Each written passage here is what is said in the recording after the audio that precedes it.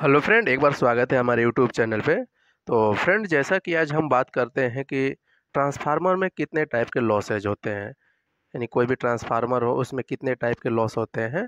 तो आज उसी के बारे में डिटेल से आपको बताने वाला हूँ। तो फ्रेंड, ट्रांसफार्मर में जो दो टाइप के लॉसेज होते हैं कोई भी ट्रांसफार्मर हो, उसमें दो टाइप के लॉसेज होते हैं। पहला होता है आयरन लॉसेज और दूसरा होता है copper losses. Copper losses. Friend, आज इसी इसी दोनों लॉसेज के बारे में आज हम बात करने वाले हैं कि आयरन लॉसेज किसको बोलते हैं और कॉपर लॉसेज किसको बोलते हैं। और फ्रेंड, जो आयरन लॉसेज है, आयरन लॉसेज को भी हम क्या बोलते हैं? कोर लॉसेज भी बोलते हैं। इसको कोर लॉस लॉस भी बोलते हैं।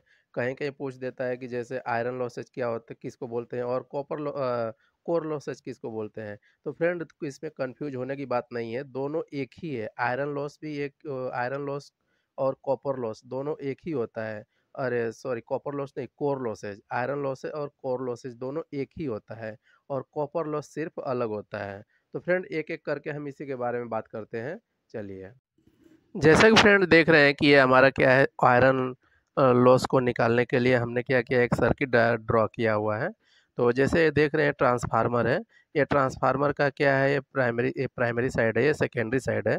तो जैसा कि ट्रांसफार्मर में जब हम इसको क्या करते हैं, जब ये बन के रेडी हो जाता है तो इसमें दो तरह के लॉसेज होते हैं। टेस्ट होता है। एक आयरन लॉसेज होता है, एक कॉपर लॉसेज का टेस्ट होता है।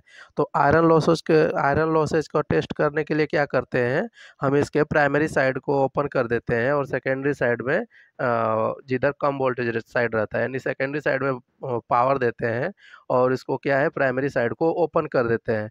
जिससे क्या हो जाता है कि ये ओपन रहेगा तो इसके कोर में जो है, यानी इसके ये जो देख रहे हैं, ये कोर है। कोर में क्या है? फ्लक्स हमेशा घूमती रहती है। फ्लक्स घूमती रहती है, जिससे कारण क्या हो जाता है? इसमें आयरन लॉसेज का पता चलता है।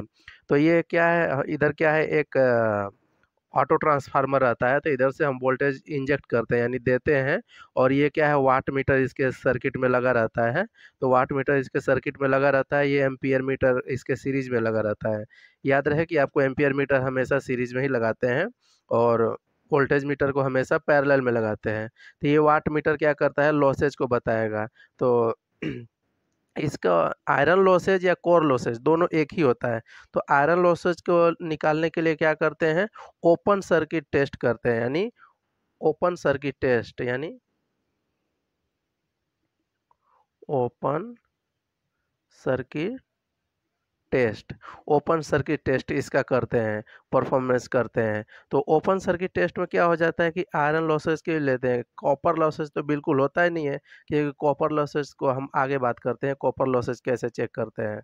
तो फ्रेंड ऐसे आयरन लॉसेज का इस्तेमाल करते हैं। फ्रेंड इसके अंदर भी, आयरन लॉसेज के अंदर भी दो तरह के लॉसेज होते हैं, उसको हम अगले वीडियो में बात करेंगे, वरना वीडियो बहुत बड़ा हो जाएगा, जो एडी करंट लॉसेज और अपना हिस्टेरिसिस लॉसेज होते हैं, उसके भी कैलकुलेशन हम पूरा अगले वीडियो में बनाएँगे। और फ्रेंड, हम दूसरा बात करते हैं कि कॉपर लॉसेज कॉपर लॉसेज के, जो कॉपर लॉसेज हो, किसी भी ट्रांसफार्मर का जब टेस्ट किया जाता है तो कॉपर लॉसेज लॉसेज को ज्ञात करने के लिए क्या होता है, शॉर्ट सर्किट टेस्ट किया जाता है।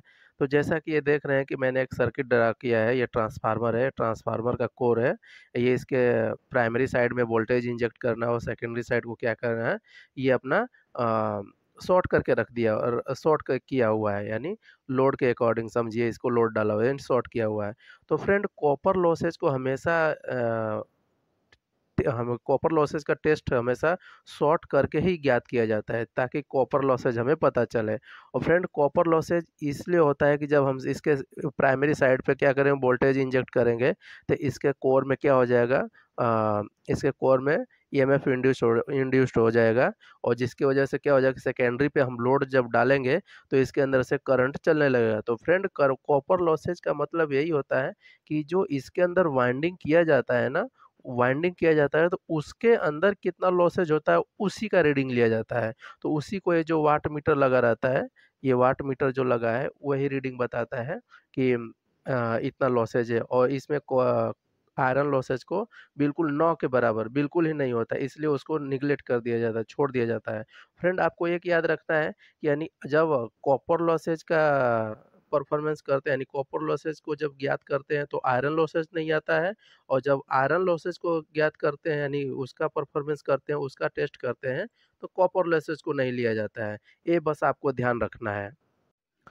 तो फ्रेंड आज के लिए इतना ही। तो फ्रेंड हम अगला वीडियो लाएँगे कि यानी हिस्टेरिसिस लॉसेज और एडी करंट लॉसेज को कैसे कम किया जाता है, क्या तरीका है कम करने का, किस कारण से वो बढ़ जाता है और किस कारण से घट जाता है। तो फ्रेंड उसका बेनिफिट क्या है एडवांटेज क्या है डिसएडवांटेज क्या है, उसके बारे में एक वीडियो बनाएँगे।